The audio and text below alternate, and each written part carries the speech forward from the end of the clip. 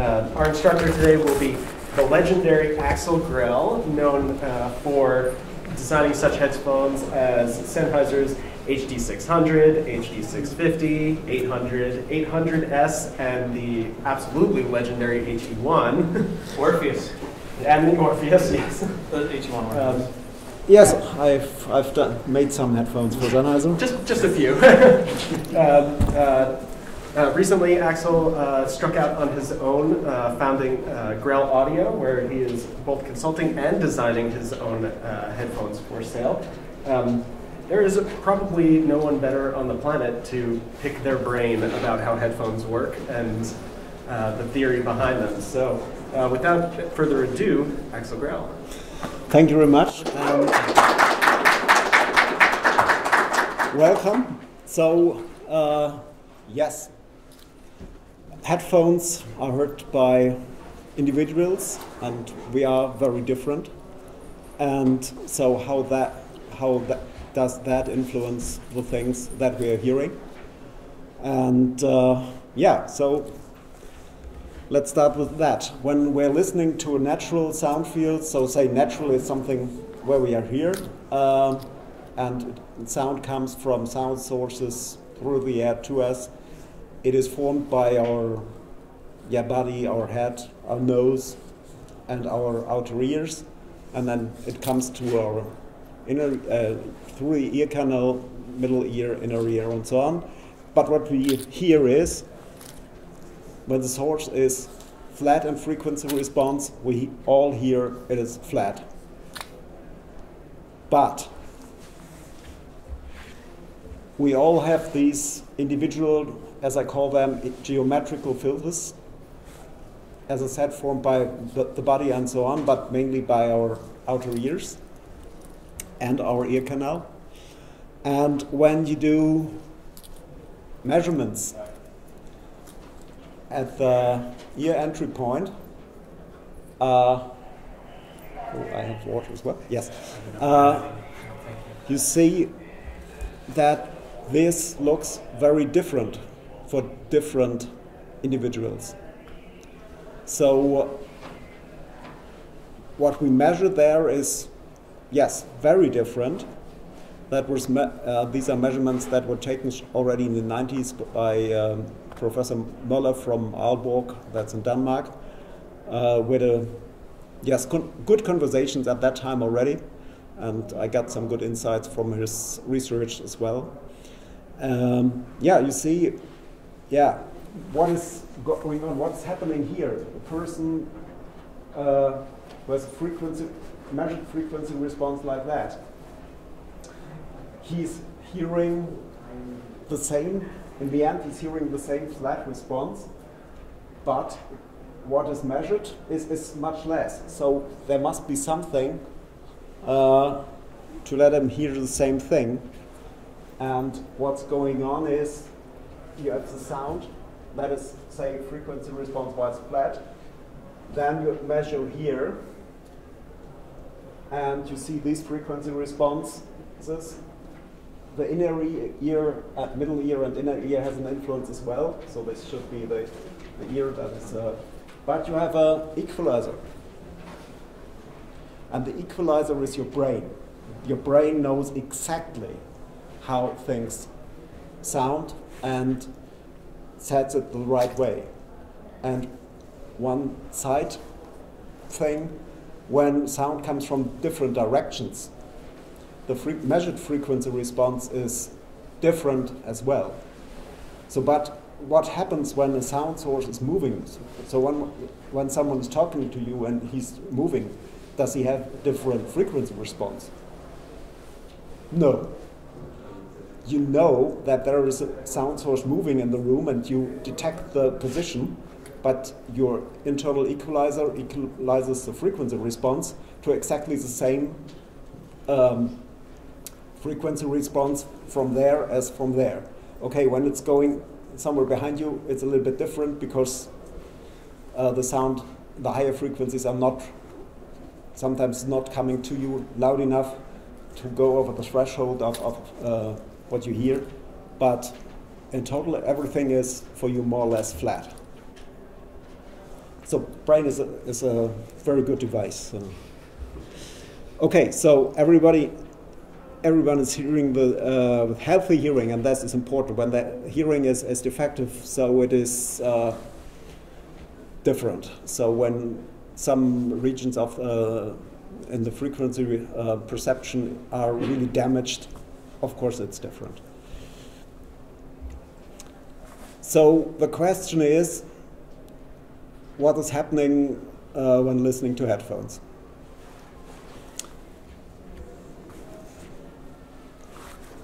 It depends on the type of headphone, but you're bypassing these filters, especially when you use in-ears. When you use bigger headphones with a larger area that uh, radiates the sound, your outer ear is part of the thing, but when you're really going directly in the ear canal, this filter is no longer active.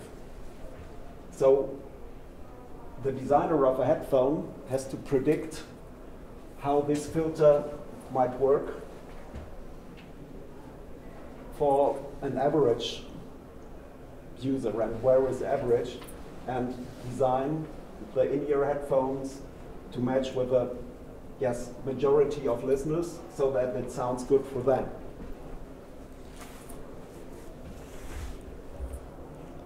So I've picked two individual curves now.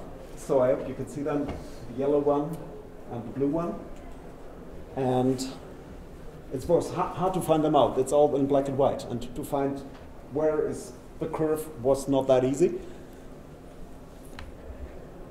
So I've isolated them. And you mm-hmm. see from the same sound source, person A is much more in this area than person B. And when person A is a designer for in-ears and he creates something that sounds right for him in that area, and then uh, oh, person A here, it, he gives a lot more of sound pressure level than person B expects there.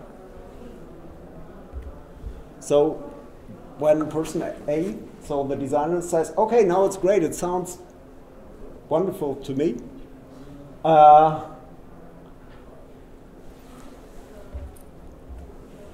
person B might not be amused by the sound. And it's not because a headphone is bad, but because they're hearing something differently. And uh, because when you see the difference between the curves, person B has 16 dB more in the range of 4.5 kilohertz than the designer of it. And that is something, uh, you don't want to have that in that frequency range, but that happens. And when you read reviews of in-ears and you see the discussions are going on about in-ears, you know there's nearly war between listeners and groups. It's not that strong for other headphones. Okay, there's some struggle as well, of course, it, and that's a game. That's okay. But for in-ears, it's, it's really both persons have an opinion, and both are right. Because yes. Is there a specific frequency response where the variation is more common between person to person?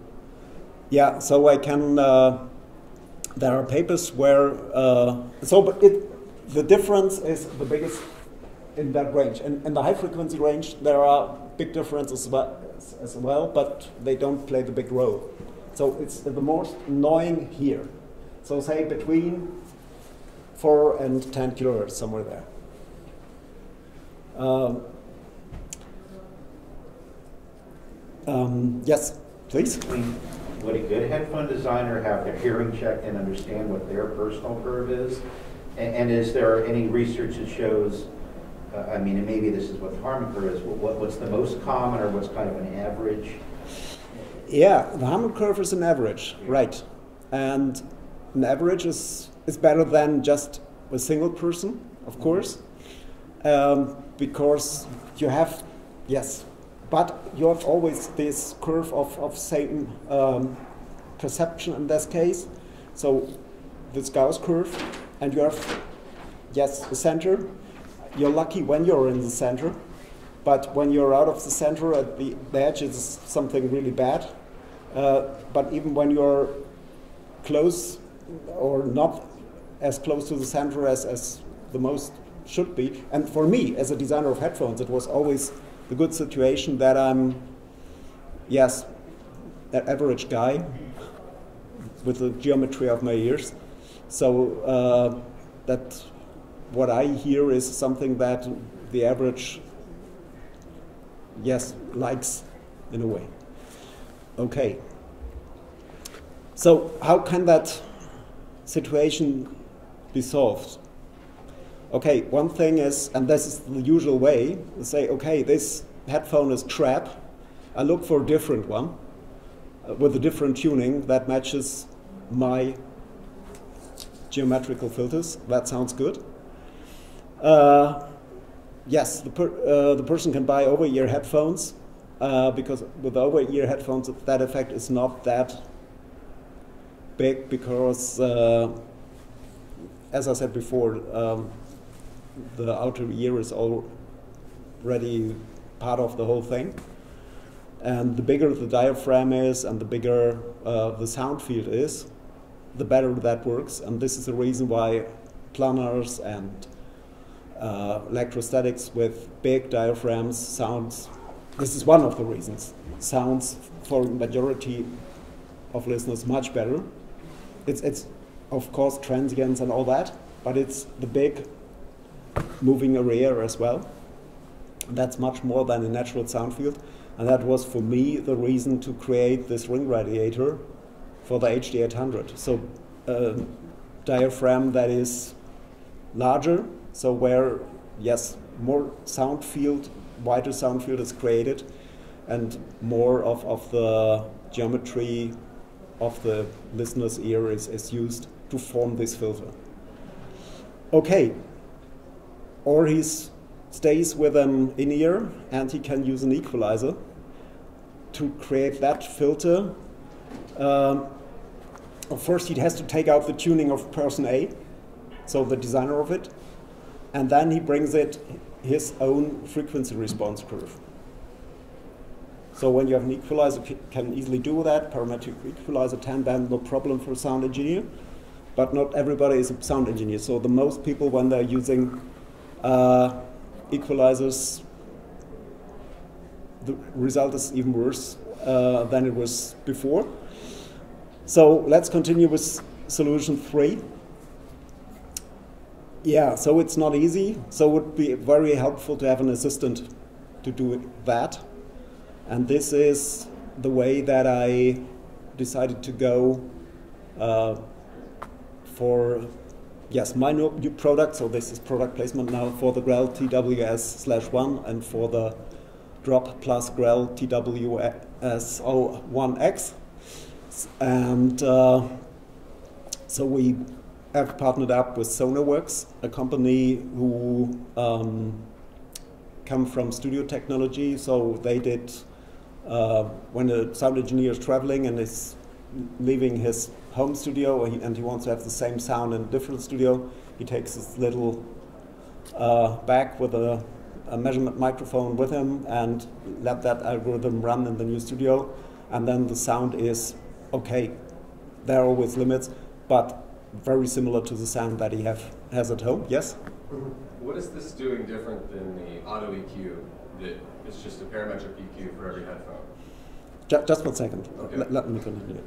And uh, so what the sound ID thing is doing, that is not doing something flat, and you can't measure, really measure that. You have to always have the person listening to it and getting feedback. And so Sound ID is doing it in a way that it, you can choose different music styles and playing music samples. Okay, this would be improved so that you may can use your own music as well. And then you have to decide is a better than B, or is none of them better, and what's going up, and this is for many, many things, is going up that way, and what's going uh, really is done in the background is that a parametric equalizer is set or FIR filter is set. So to match, to um, create exactly that curve uh, that you're expecting. So to take out that curve and to put in that curve. This is what what happening there, and you don't have to be an uh, engineer to do that. So j- you just have to listen and say, okay, A is better, B is better, none of them is better. Go to the next one. And um, oh, sorry. Uh, yeah. So conclusions of that. A tuning following the listening preference of a single designer is not a good idea. An average frequency response is better, so something like the Harman curve, of course, but it is not something that works for everybody. So when the majority says, okay, Harman curve sounds good for me, uh, there might be some persons who say, no, not for me, it sounds not good. And the reason can see it here. And of course, one thing that is not in is, is personal preference. Um, the thing with the reviewer that says, okay, this one sounds uh, bad, and uh, the customer loves it, both are right. So, because they are hearing different things. And uh, when designing headphones, uh, the individual ear geometries must be taken into account. So, when the industry is doing in ears, they need to offer solutions uh, to, yes, bring this individual geometry filters somehow into the headphones. And uh, yeah, this is what we're doing uh, with SonarWorks, with Sound ID. And uh, yeah, I hope there will be others doing that as well in a similar way or in a different way, and or maybe hopefully in a better way. so um, I think it's it's worth to to think about that. But but what's not possible is to do a, just a measurement. So things like scanning the ear and doing photographies, that's a good way. So to see, okay, the geometry is looking like that, then we expect from measurements that it will have this or that effect.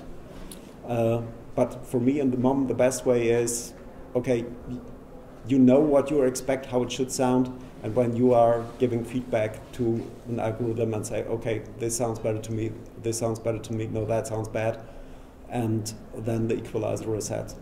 So it is nothing, not only technical, it's a human factor is, is in there as well.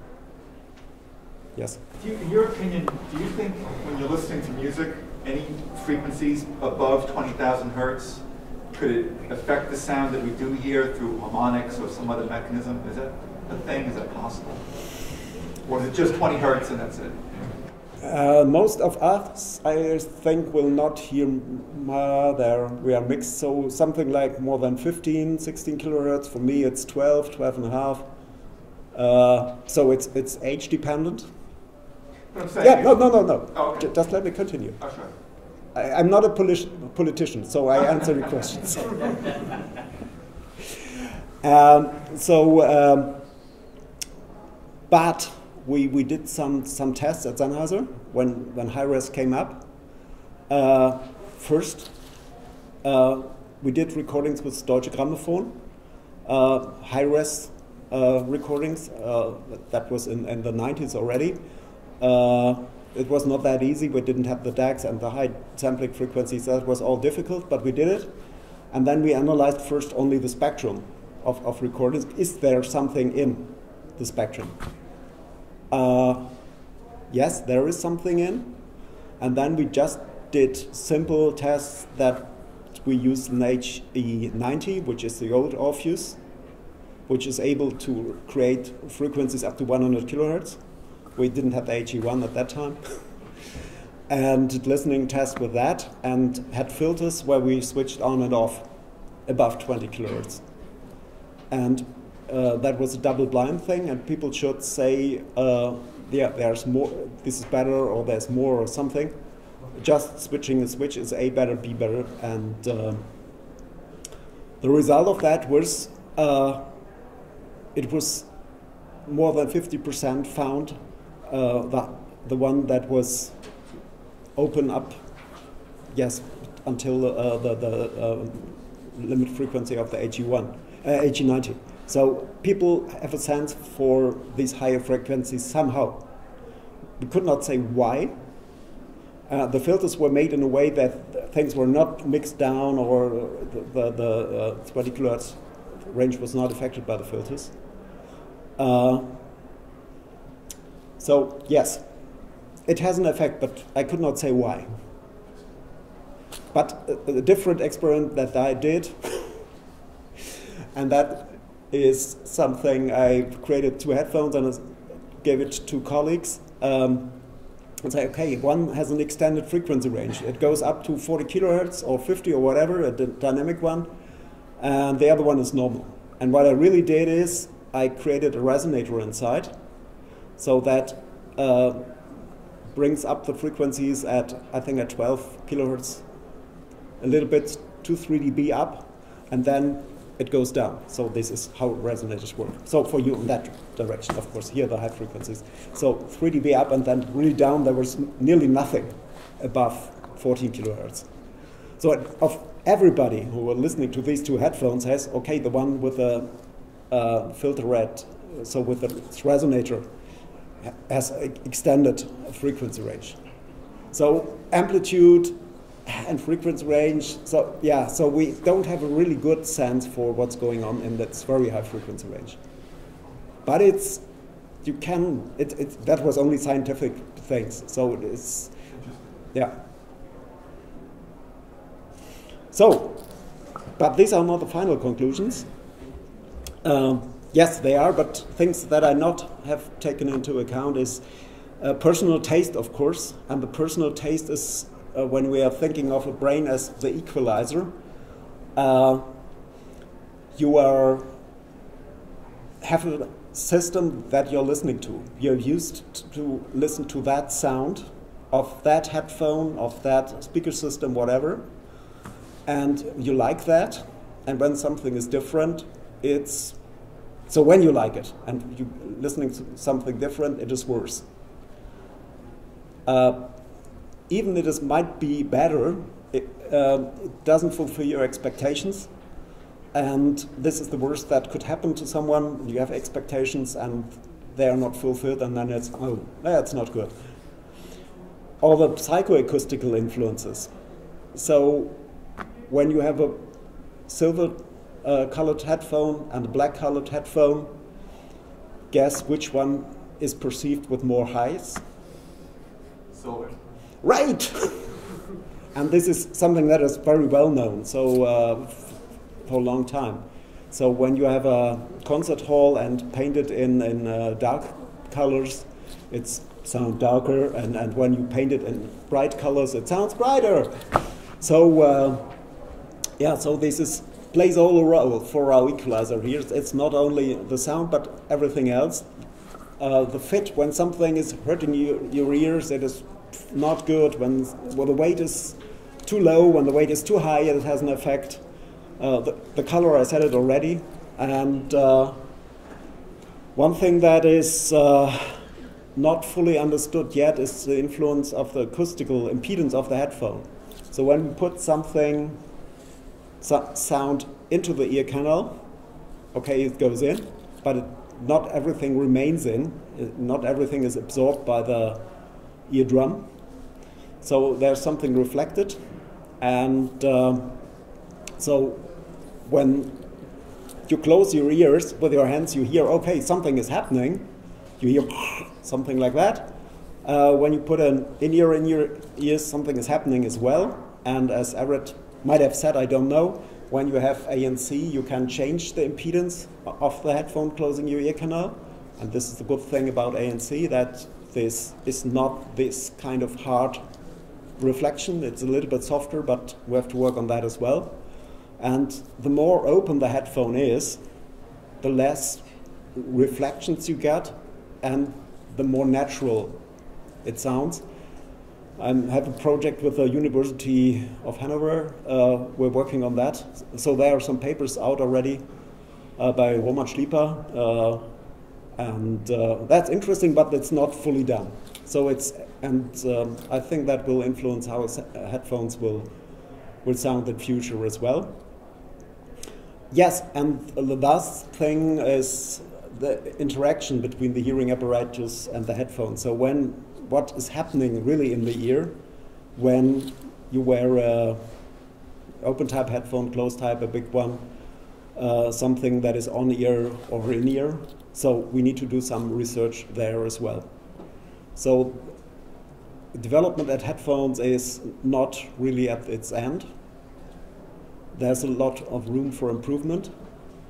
And uh, of course, companies need to make money with headphones, but the, the border can be shifted and to remain where we are now with something doesn't make sense. It could sound better. And uh, yeah, that's all. And the most important thing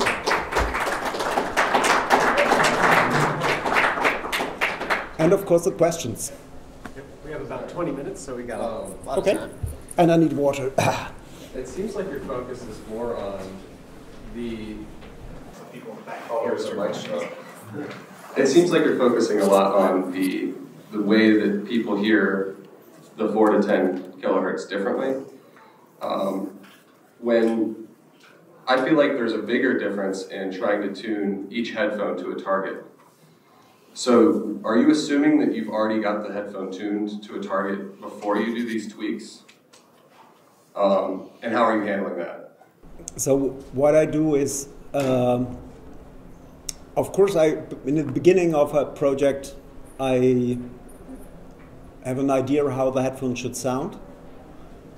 That is an idea in my head, so I can try to make a curve out of it, but uh, frequency measured frequency response curves without knowing how the headphone looks like and which impedance it has, so the acoustical impedance it has, and all that doesn't make sense. So yes, for uh, the specifications, I always have to draw something. That's, but in the end, uh, I try to come close to uh, my idea, of course, but without uh, many test listeners who say, okay, it sounds for me like that, and that matches what I want to achieve. It doesn't make sense as well. So this is, uh, as I said, in the end, humans are listening to the headphones, and need, it need to sound good to, to human beings. Uh, different ages, different listening experience. When, when I know, okay, it's only for heavy metal fans, so it's easier because uh, this is uh, just one genre and one expectation. Not it's not only one, but uh, it's it's more limited than when you have to do something very general, because expectations, as I said, when they are not fulfilled, this is the worst that could happen. So when you can't hear uh, the guitar uh, from a heavy metal headphone, and you just he- hear the drum and the bass, uh, say, okay, this is not a heavy metal headphone, that is a hip hop headphone. So yeah, of course you can hear the guitar, but it's not in the front. So things like that, and. Uh, yeah, I hope this answers your, que- your question, but It's close. I think I'm thinking of it in terms of like other people, like any headphone, right? It's is this EQ used for any headphone so or just your headphones? no, uh, just mine. But in the end, in the end, when you're going to to uh, Sound ID, it's a very personal thing that only works with that headphone and that person, and that's it. So But it could be any headphone. no, No, not any. No, Okay. it, it works only with that headphone, with Okay, that special thing. Yeah, because that has its own uh, characteristic, of course, and it has its own influence on the listener.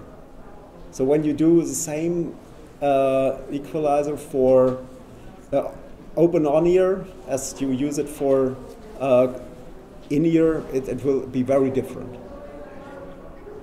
Okay. Yes? Oh, sorry. Hi. So uh, something really interesting. So with audiophiles, one kind of uh, standard people listeners want is kind of that natural sound, like what sounds natural. And I always assumed that flat is kind of what's the natural, you know, basis of it. But I, I was kind of wondering, what's your insight when uh, when creating the HE1? Because some people regard the HE1, you know, the Orpheus tonality as to be like supernatural, one of the best like tonality on a headphone, which is why it uh, it gets the name as the world's best headphone because in terms of pure tuning, it sounds very natural to people, and I think with it, it seems to kind of adhere to Harman a bit. Uh, I'm not, I'm not, sure exactly to the target, but it seems to be very agreeable with most people. But yeah, what's your insight on how that tuning was created for the HE1 and how that that kind of tuning could help maybe with other headphones? Because I know there's all these other factors that come in to making a headphone. Because I know HE1's electrostatic and has so many different factors, and yeah, so yeah, but the tonality I think is really good. And when headphones can adhere to that kind of tonality target, it sounds, tends to sound really natural. yeah, I wanted to hear your insights on that, why that was chosen. So the, the, tuning of the bows is different, first of all. So uh, HE1 is a HE90 with balls. So uh, HE90 uh, was, was created in the 80s, and at that time, with frequency responses that goes down to the low frequencies were very well accepted. Sound very analytic. So when someone is hitting a drum, you hear uh, the overtones, but the fundamental tone is there, but not very loud. So that was at that time something, yes, very good. But of course, it could be made in a different way, uh, and that's the HE1. So where yes, bass tones are really well audible, and you need a little bit more of bass than flat when you measure it, because uh, you don't have the body channel. So when you listen to speakers, you have the channel through the chest, and you don't have that when you're listening with headphones. So there's a little bit more of bass in the HE1. And um, yes, the driver, when you measure the driver in a free field in an anechoic chamber with a measurement microphone, it's just flat. So there is no equalization in that case. The only equalization that is made is made by your own ear and by the ear pad. And of course, the ear pad needs to be in a way that it doesn't causes um, um, resonances, things like that. But that's all. So it is your personal equalization, and this is why it sounds so good because you are listening to your own well-known personal equalization.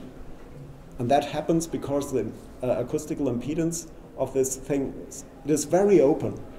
So everything that is reflected goes more or less. You have a very thin diaphragm. You have a very open um, uh, um, electrodes. It's going out. Not everything, of course. There is something. There need to be something, but it's, it's much more open than than everything else. Okay, nature and HD 800 is very open as well. Uh, this is why it's perceived as a very good headphone in this Harman tests as, as well. Uh, so acoustical impedance of the headphone plays a big role for how things are perceived. But of course, a ring radiator is not such a big uh, sound source like this really large diaphragm of an HE1. Okay as, as a designer of uh, HD 600 and HD 800, after those came out, and obviously people really liked them, but then uh, shortly after it started the whole uh, movement, if you will, of people that uh, try to make all kind of improvements and mods. As the designer, I'm kind of curious, did you ever try to follow any of those mods and figure out whether or not those to your ears sound better than the original, or you kind of just dismiss them and say? Of course, I, I read read these things um, and, try to to uh, replicate that, and uh, uh, yes, and I, I um, when we made the HD 800, um, and we made the listening test and all that, we knew that it is a little bit much in the 5 kilohertz range, but acceptable. Everything that has been done by a lot of people to, to bring that down that I've tried was not making the whole thing really better. and uh, we discussed a lot how to make that really better without losing high frequency response and so on and so on. And the solution was uh, the absorber. Uh, that is nothing unusual in microphones. and when you're working in a, um, in a company which uh, on the next door are the microphone developers for dynamic microphones, uh, it, took a while until we get to that idea to get that absorber in. But the good thing about the absorber is, uh, yes, it, it takes just the energy, energy out there and it takes it more out when it, there's more in. So that is uh, the good thing. I think that was the best solution. But there are still a lot of people say, okay, the original HD800 sounds much better to me than the HD800S.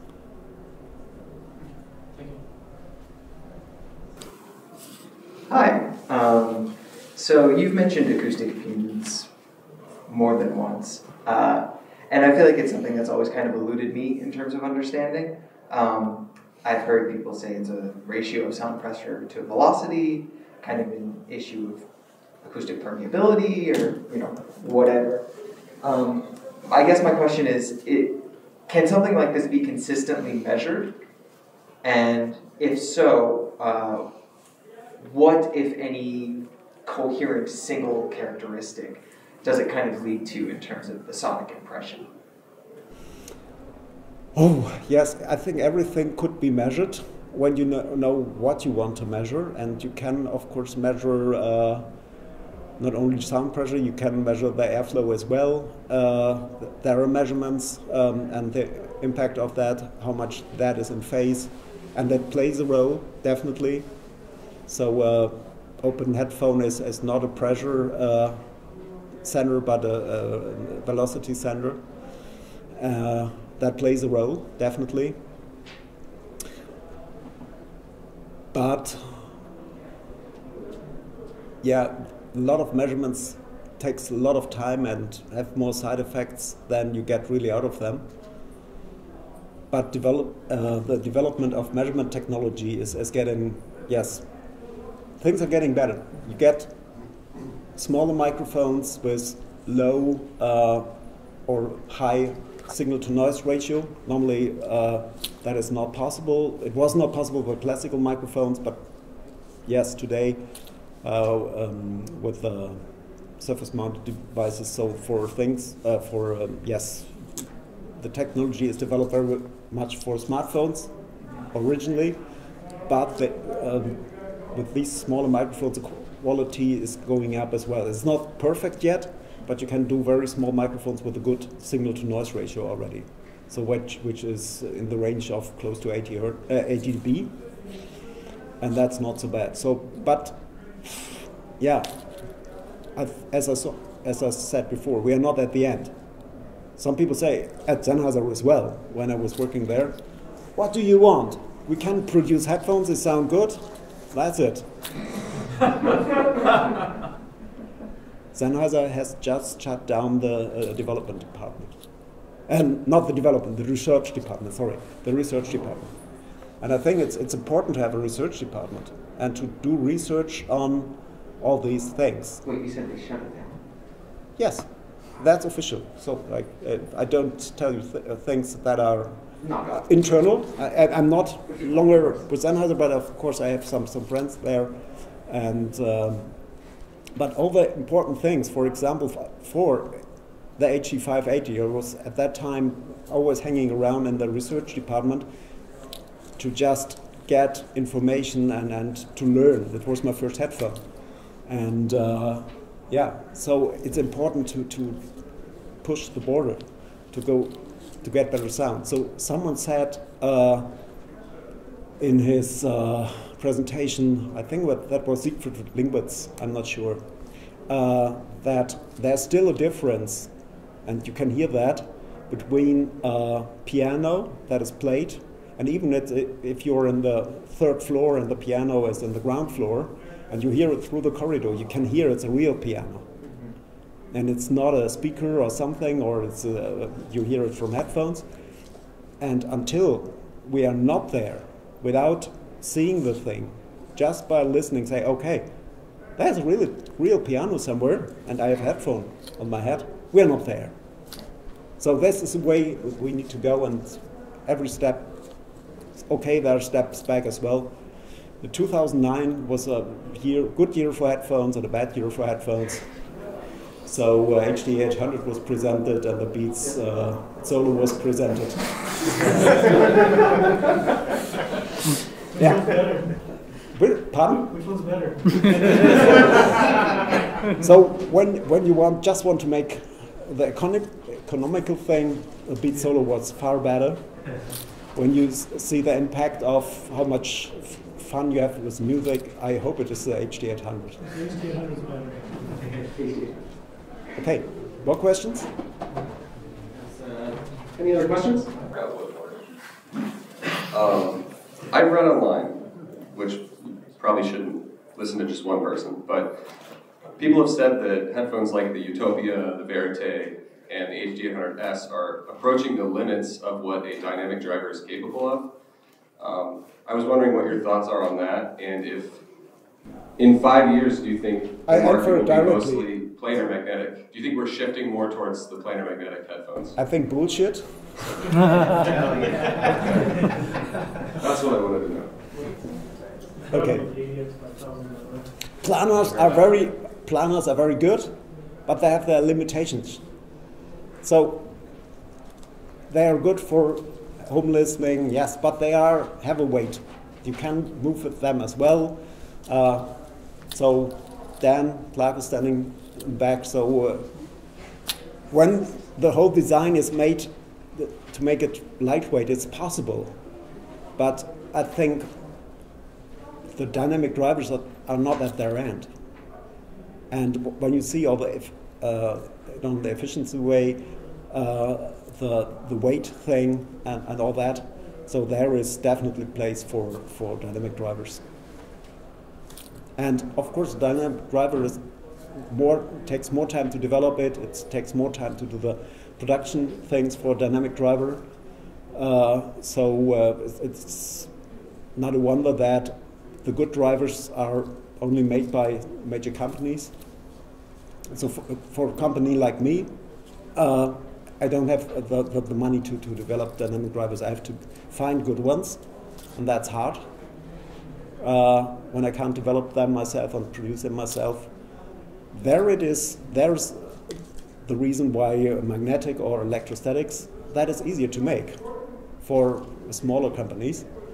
Uh, but yeah, I think there's, there will be yes a good mix of all kind of drivers, and maybe there's something we never thought about that will solve a lot of problems in the future. So talking about the future and say okay here's the limit, bullshit.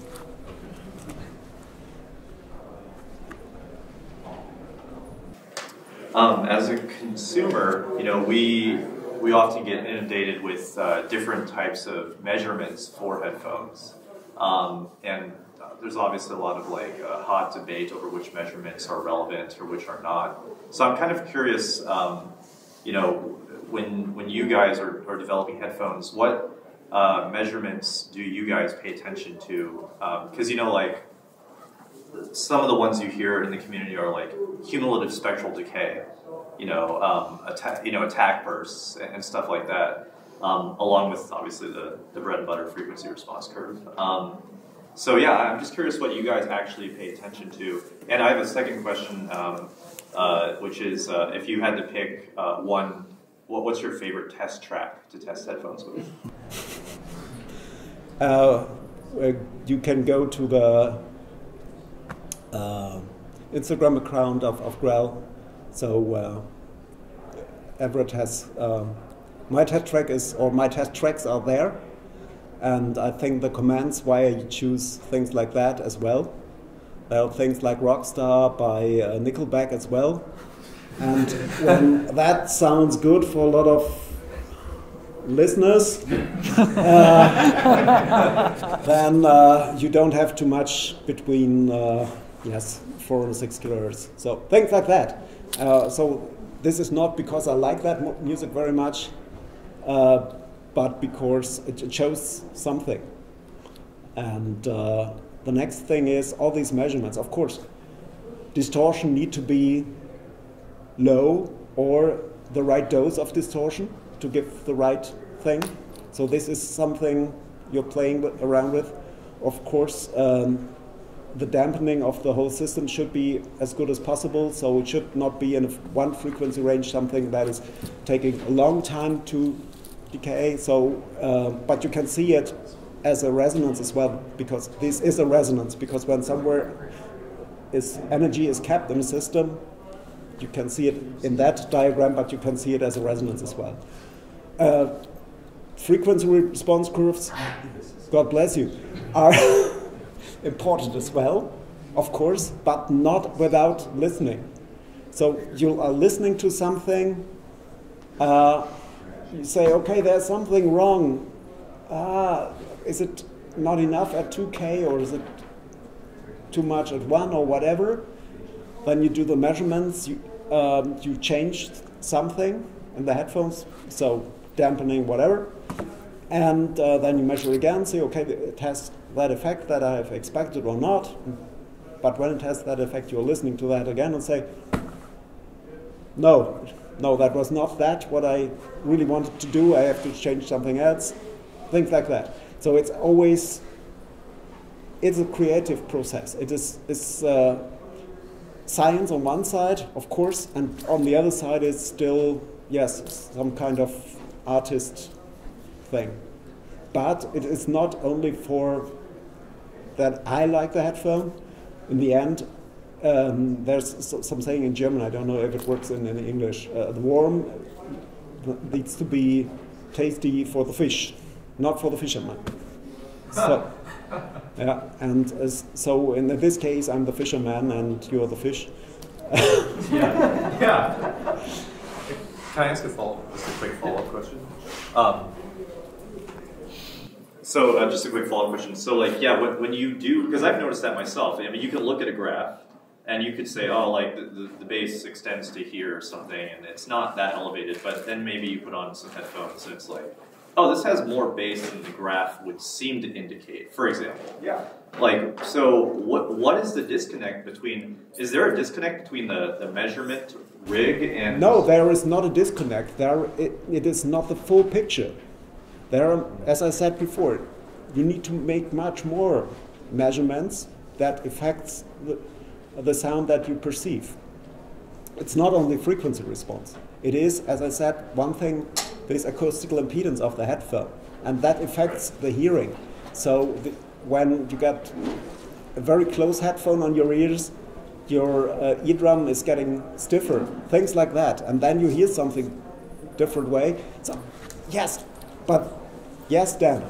I mean, I, a lot of people don't even appreciate the fact that if you clench your jaw, you're changing the acoustic impedance of your ear canal, and literally you will change the sound of your headphones just if you clench your jaw. Yes, you can self-tune it. yeah. I keep trying to get my fixture to stop clenching its jaw, but you know, it just doesn't do it. Yeah. Does Sennheiser have an issue, or not an issue, but like, have you ever noticed unit variation being, like, how do you deal with that? So when you produce something, headphones, cars, uh, printers, whatever, there's always tolerances, always zero tolerances. And one thing with acoustics is when you want to achieve tolerances as narrow as plus minus 1 dB, that's really very difficult.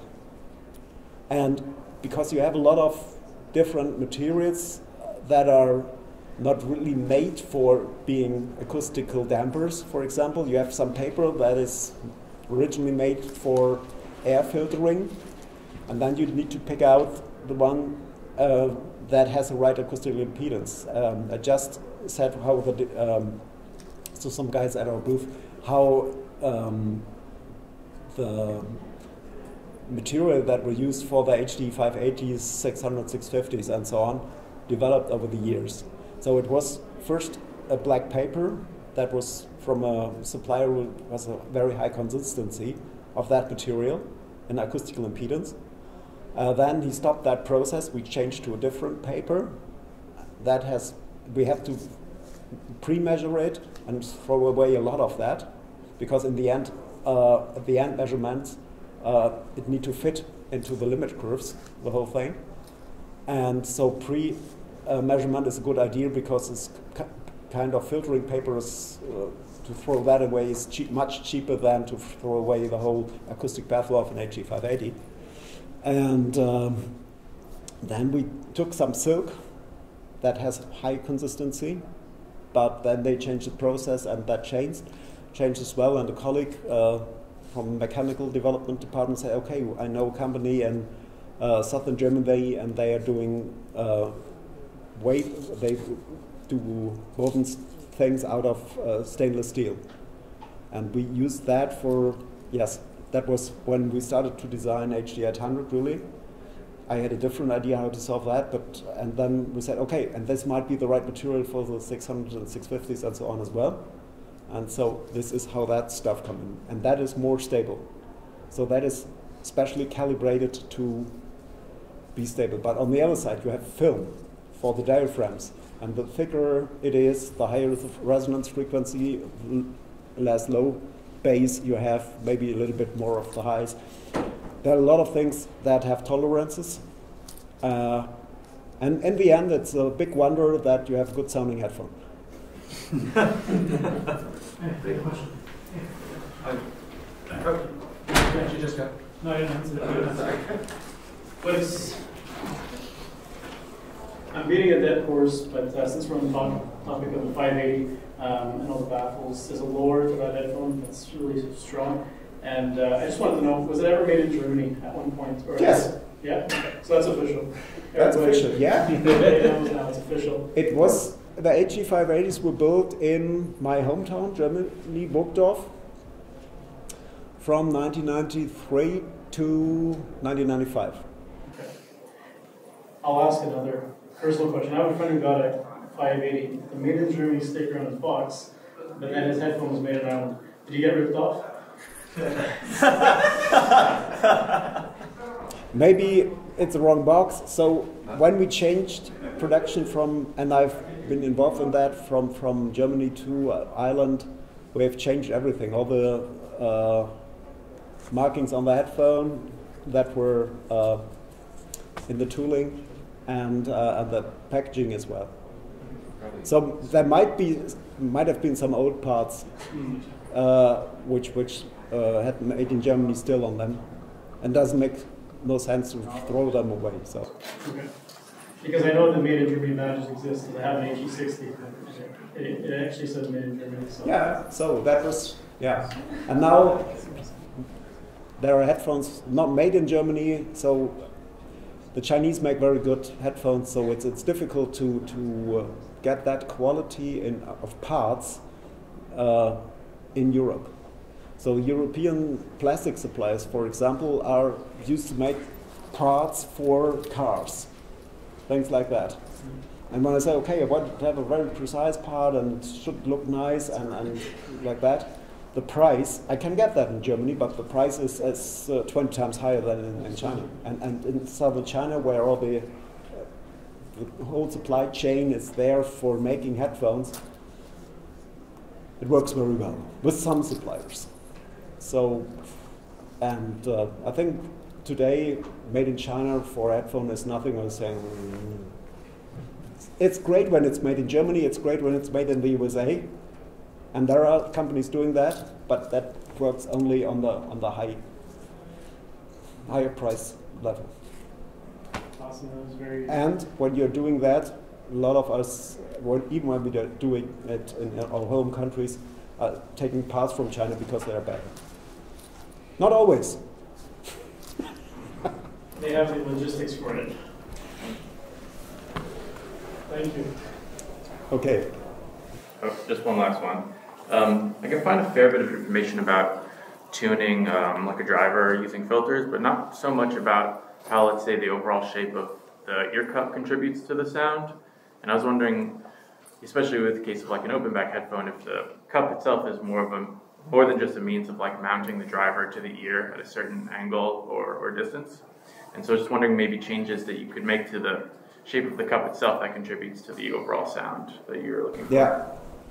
So the first the most headphones in the 60s uh, were just round shaped. But when you- have just a round cavity, all the diameters are the same length, and you have a strong resonance when you have a closed one.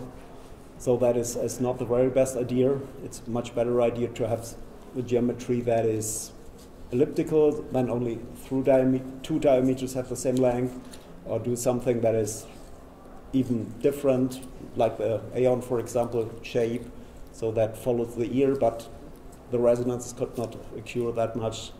Uh, we did something similar at Sennheiser as well, the kind of shape, and uh, yes, and now to the position of, of, of the drivers. Uh,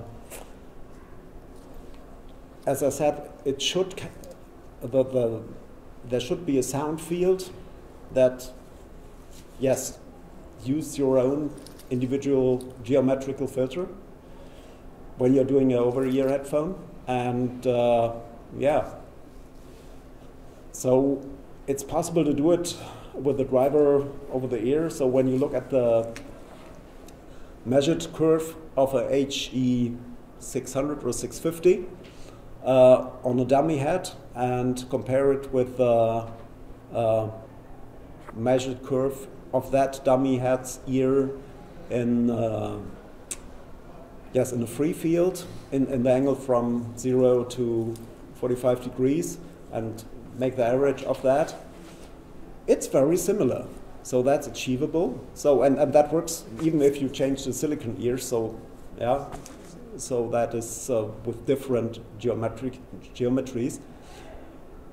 Uh, but when you bring the drivers more in to the front uh, of the ear, you have this um, yes direction or directivity of the sound field more from the front um, to the rear. And one thing that doesn't happen when you, you measure and, and listen to the HD650s is that you have this comb filter effect. Uh, and when, when you want to achieve that, you need to, to have, yes, the low frequencies going in earlier and the higher frequencies later. And that works only when the higher frequencies are reflected somewhere here. Uh, and that means the driver needs to be, yes, somewhere in front, more in front of the ear. And uh, yes. So, So uh, unfortunately, we are out of time. But if uh, anyone wants to continue the conversation in the hall, uh, we are uh, certainly okay to do that. And I urge you to visit Grell Audio's booth on the floor, obviously. So uh, please give a round of applause to our chairman.